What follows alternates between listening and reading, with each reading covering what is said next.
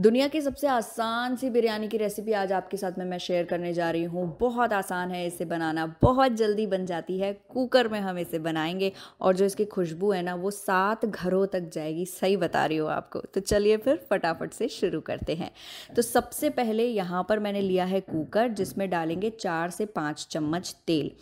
क्योंकि बिरयानी के लिए ब्राउन अनियंस बहुत ज़्यादा ज़रूरी होता है, इसलिए यहाँ पर मैंने पाँच प्याज लिए हैं जिन्हें लंबा लंबा काट लिया है। प्याज को हमें ब्राउन होने तक पकाना है। फ्लेम को हम रखेंगे मीडियम पर और प्याज को हम बीच बीच में चलाते रहेंगे ताकि ये इवनली हर तरफ़ से कुक हो जाए। देखिए, प्याज को हाई फ्लेम पर मत पकाइएगा। ये सोच कर कि ये जल्दी ब्राउन हो जाएँगे। नहीं, टेस्ट अच्छा नहीं आएगा, वो जल जाएँगे। इसलिए फ्लेम को मीडियम पर रखें। इसे बीच बीच में चलाते रहें। कम से कम 10-12 मिनट का टाइम लगेगा। ये इस तरीके से ब्राउन हो जाएँगे क्योंकि प्याज हैं बहुत सारे और फ्लेम हमने कम रखा हुआ है। तो जैसे ही इनका कलर इस तरीके का आ जाएगा, उस टाइम पर हम इन्हें बाहर निकाल देंगे। सारे प्याज बाहर नहीं निकालने हैं। पाँच प्याज यूज़ किए हैं तो अंदाजे से चार प्याज हम बाहर निकाल देंगे, उन्हें ठंडा होने देंगे। ठंडे होने पर वो क्रिस्पी करारे से हो जाएँगे। और बाकी का जो एक प्याज अंदाजे से जो है, वो हम कुकर में ही छोड़ देंगे। तो बाकी रख देते हैं और आगे का प्रोसेस करते हैं। खड़े मसाले मिलाएँगे। एक चम्मच ज़ीरा लिया है, एक काली इलायची, आधा टुकड़ा दालचीनी का है, एक तेज़पत्ता है, काली मिर्ची और लौंग ली है मैंने तीन तीन कूट कर। तो अब इन्हें भी लगातार चलाते हुए एक मिनट के लिए और पकाएँगे। अब बिरयानी है तो इसमें हम डालेंगे काजू भी। तो 10 से 12 काजू है जिसे मैं डाल रही हूँ और इसे भी कुछ सेकंड्स के लिए पकाएँगे। जो काजू है वो बहुत जल्दी भुन जाते हैं, इनका कलर चेंज हो जाता है तो 10-15 सेकंड के लिए ही काजू को पकाना है। अब डालेंगे एक बड़ा चम्मच अदरक और लहसुन का पेस्ट। अदरक, लहसुन के पेस्ट को भी लगभग लगभग एक मिनट के लिए लगातार चलाते हुए हम पका लेंगे। तो देखिए, ये भी हो गया है और अब हम इसमें डाल देंगे खूब सारी सब्ज़ियाँ। तो जो सब्ज़ियाँ आपको पसंद है, वो आप इसमें डाल सकते हैं। मैं यहाँ पर ले रही हूँ गाजर एक गाजर ली है, थोड़े से बीन्स लिए हैं और थोड़ी सी ही मैंने यहाँ पर गोभी भी ले ली है। इसके साथ ही दो आलू भी काट कर मैंने इसमें डाल दिए हैं। अब हम इसे बढ़िया तरीके से मिक्स करेंगे और मिक्स करते हुए ही सब्जियों को हमें दो मिनट के लिए पकाते रहना है। तो इसी तरीके से हम इसे चलाते रहेंगे। सब्ज़ियाँ आप चाहें तो इसमें मटर वगैरह भी डाल सकते हैं, शिमला मिर्ची भी डाल सकते हैं, वो टोटली आपका चॉइस है। तो देखिए, ये इसे हमने दो मिनट के लिए पकाया है, अब डालेंगे इसमें मसाले।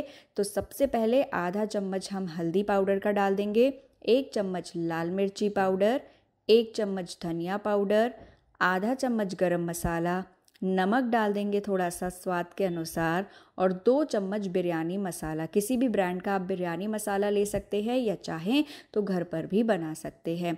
मसालों को मिक्स करेंगे सब्जियों के साथ में और मिक्स करते करते एक मिनट के लिए हम इसे और पकाएँगे। और मिक्स करते करते ही ध्यान रखिएगा कि फ्लेम जो है अब हमें कर देना है एकदम लो पर। तो मिक्स करते जाइए और फ्लेम को लो कर दीजिए।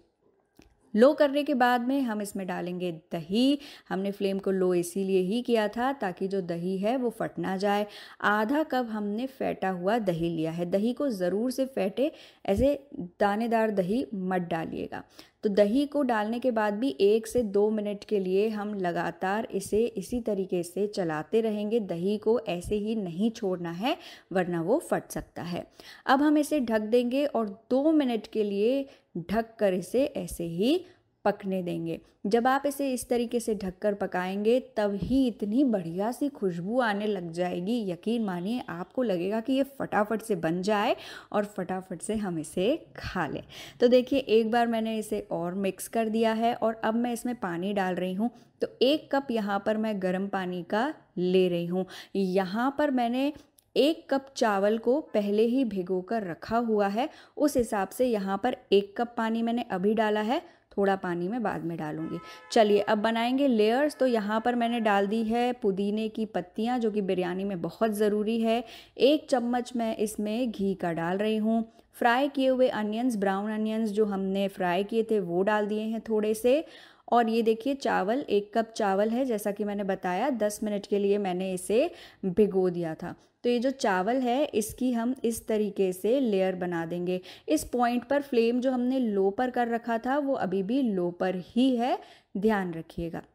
तो देखिए, सारे चावलों की इस तरीके से हमने लेयरिंग कर ली है। अब चावल के ऊपर दोबारा से हम डालेंगे पुदीने की पत्तियाँ। थोड़ा सा कटा हुआ धनिया भी मैं इसमें डाल रही हूँ। इसके साथ ही ब्राउन अनियंस, बाकी के जितने भी बचे हुए हैं, वो सारे के सारे इसमें हम डाल देंगे। थोड़ा सा मैं यहाँ पर गरम मसाला स्प्रिंकल कर रही हूँ। थोड़ा सा बिरयानी का मसाला भी मैं स्प्रिंकल कर रही हूँ। बहुत अच्छी खुशबू और स्वाद आएगा इससे। और इसके साथ ही थोड़ा सा मैं इसमें नमक और डाल रही हूँ। आप अपने टेस्ट के अकॉर्डिंग नमक डालिएगा।